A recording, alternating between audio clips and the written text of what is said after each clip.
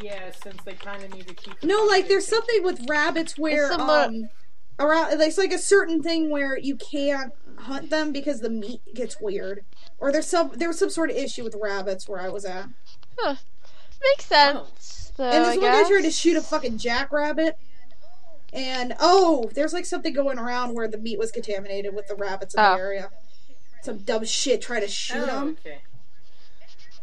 And there's also an issue where if you shoot them with the wrong gun, their entire body's gonna get littered with um bullet remains. You Well, can't get that on the meat. Well, yeah. well. If you, and then it makes the meat weird. I mean, if you use a buckshot when you're supposed to use a rabbit. No, yeah, somebody used a there's- buckshot on a rabbit once and then tried to eat it, and then he had to go to the hospital. There was a lot of stupid people where I lived. Idiot. there was a lot of Idiot. stupid people where I used to live. Seriously. Gosh, I'm not even a gun buff, but I know that you that the amount of pellets you need to take down a buck is probably maybe ten times what you need to take down. a Well, it depends on how you do And it.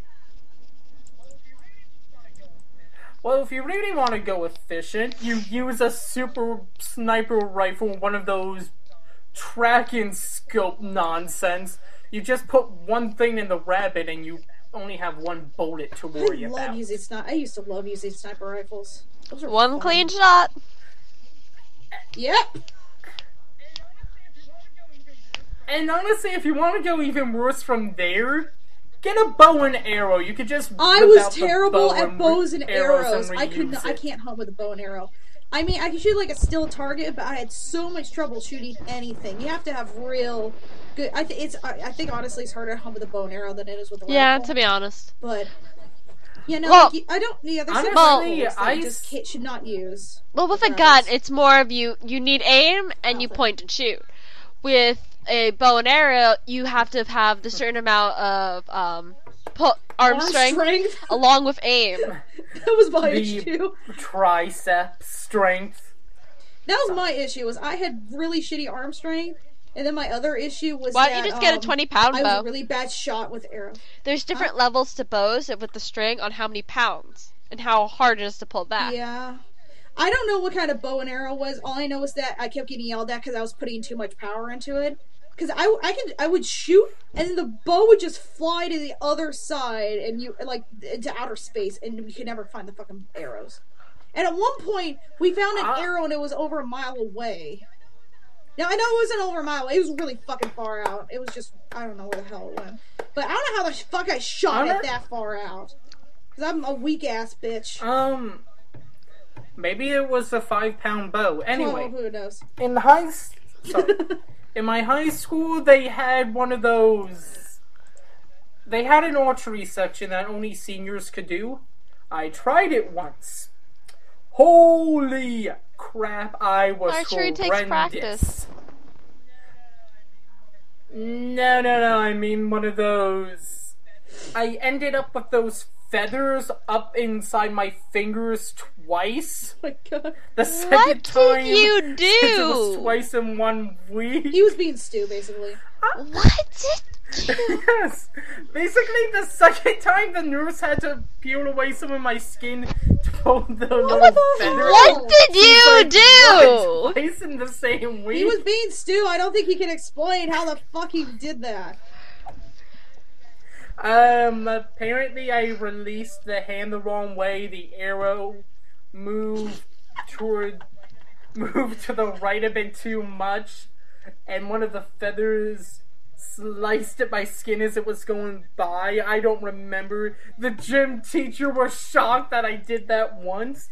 Even more shocked the second time I did that. I couldn't shoot straight. Um, I almost hit a bullseye in the guy to the right of me's target. Not to mention the fact that I. w- Sorry. I know. uh, I don't even. Yeah, it, it appears my, I'm a bit too arm twitchy and I can't keep them stable long enough. So as I let go, apparently I boy. move a bit. Let it go. Let it go. Really? Yeah, I went there. Fucking Frozen, man. Frozen. That's cold of you. I'm curious though, what after Frozen will be the next um, Disney movie that involves a fairy tale of some sort, or inspired by a fairy tale of some sort. I completely forgot the Snow Queen was actual fairy tale until they did the movie, and then I could not. Uh, like they they did. Oh I liked Frozen. I was surprised. I've heard very, very, very mixed things like from one person, like from a few people I trust with their movie ideas. Like I trust these people know when a good movie is good. I hear it's really great. From a handful of other people, about the same amount, who I hold in that same regard. They're like, yeah, it was, it was okay. It wasn't as good as everyone's making it okay. out to be. My yeah. Especially. Um, here's the thing about Frozen. It's great when you consider certain things into it, but it does have a lot of flaws. Yeah. Aside from the animation stuff that, well, for some reason, everyone um, decided. I feel like it had certain flaws writing wise. Personally, to to me, I mean, it's a it's a great movie, but I believe it could have been better. But hey, something to look forward my, to. Pixar said. My big thing with Frozen was that I was just really glad the comic relief was actually enjoyable. I actually liked Olaf. Because the trailers made me really pissed off at him. I hated the trailers to this movie. Because it just was like, oh my god, this movie's gonna be stupid. And then the movie actually is pretty good. And I appreciated the fact that El- there was no real villain. Except, I guess, Hans. Spoilers. But honestly, I wish Hans was not a villain because it would have worked if he was just a naturally good guy. And Anna just realized that she didn't love him. Yeah, but I feel like writing wise, making him the villain changed everything and made the movie a lot better. Yeah, I, I like how the basically I also really enjoyed Oh, my thing with Frozen is that I just really liked how they kind of changed the formula. Yeah. Like true love isn't true love's kiss. It isn't your your true love, your romance. True love is between can be between sisters. It can be with family, and I like how the woman like um you think that um Anna is gonna fall for Hans, and then you think oh well then Kristoff has to save her, but no, it's just Elsa. It's like um Anna sacrificed to save her sister because she loves her sister. That's true love. That's what I really liked about it. I liked how none of them got married. I like how Elsa did not have any sort of romantic interest, and it was really about somebody who really had just mainly just depression and anxiety and was just really kind of awkward, just gaining confidence through shit. Um, one of the things. I had I had a thought and then it disappeared. One of the things I really liked about it is if you watch in the beginning of the movie, um, spoilers, um, you see how Elsa's parents are trying to help her with her problem because they don't understand her problem. They don't know how to fix the situation, but they're trying. Now, it did give Elsa anxiety issues, but they tried their best. And it shows how, like, parents can try their best and still.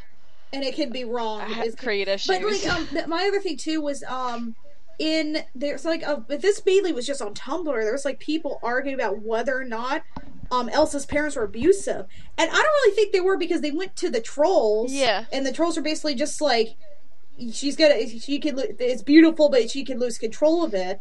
And honestly, if they, I mean like yeah, they could have gone and looked for help, but who knows what would have happened if somebody found out or the kingdom found out that the king's the the royal the princess was uh was like some magic using. Not lunatic. only that. I mean, she wasn't one, but there's that danger, and there's also the fact that who the fuck do you go to when your kid has ice powers? exactly powers? because she was. Yes. I don't believe like judging by the movie, like there's not a lot of information on ice powers in the movie. But I mean, if if her neither of her parents had it, and assuming that no one in their families had it, they wouldn't know how to deal with it. Like they wouldn't know how to control the powers, so they would assume maybe it's like she can just learn to control the powers I mean, when you don't understand something, you go about it one way. Um, and sometimes that doesn't work. Yeah, but I mean, they tried. I mean, it's not like, okay, we're locking you in a tower deal. We'll see you on your birthday. um, in 15 years when we marry you off. Well, I like. Well, Elsa didn't really Have get a nice married off. She just became queen.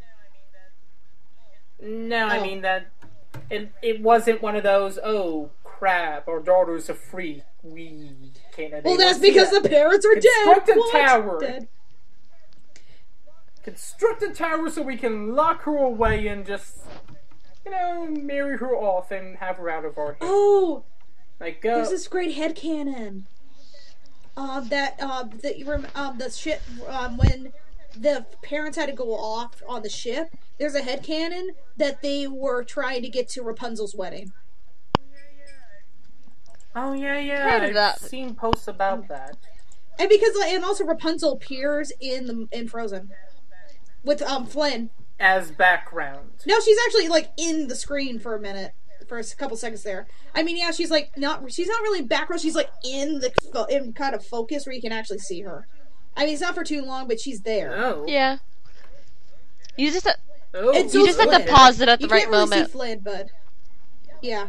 Yeah, like when uh, when Anna's like running outside, like the gates for the first time in forever, and like Yeah. um Rapunzel's walking down there with, and you can kind of see Flynn gets into the frame right when they um switch se- when they switch angles. By the way, Hans has a bulge and it's awesome. Makes me think David Bowie. That's it. What? They actually wait, Yeah. wait. They actually acknowledge the fact that hold on. They acknowledged male ata- anatomy. Yep.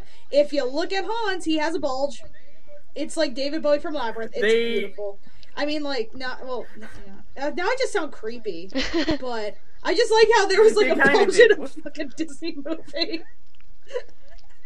That that kind of seems pushing it for Well, like- they I did like make how- the I like feet how they- comment. The do you Um, know his, how feet how big his feet are? oh my god, I didn't notice that. You've gotta be. Oh my god. You, You don't remember that? kidding me. They I forgot about that. I thought you did. frozen. I'm only. No, I'm going off of what you guys have said. Well, we just gave away so many really spoilers. About Honest, I love. honestly, I don't care. I'm probably not gonna see it That's why my friend streams it to movie. I night. seriously love Tumblr because um after the movie came out, there was just nothing but these screen caps of Hans' crotch, and they're just all over my Tumblr, just like Hans' crotch, just showing it off, and just like, oh my god, Tumblr, really? Somebody actually took the time to screenshot and crop all these fucking screenshots so you, I could see every angle of Hans' crotch in like 17 different posts, and then repeated six times. Well oh then, I literally had a day where I scrolled, I was scrolling down, and all it was was Hans crotch for 16 posts. Just angles of Hans crotch, comments about Hans crotch. Just oh my god, it was just it, it was just everywhere. that is. It was beautiful. That is It was a beautiful insane. moment on Tumblr because all I could think was like, this is it was just, and the worst part was like, I realized as I was scrolling through all his crotch pictures, I wasn't surprised in the least bit that Tumblr was obsessing over his fucking crotch. Because after a certain point, you just are like, yeah.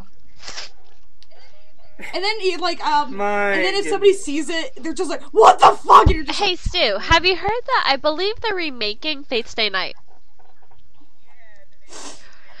Yeah, they are. They were making an original path done by Ufotable because Fate Zero was such a huge success. But the issue I actually have with that is they're not getting Gen Urobuchi to write the script for the new scenario.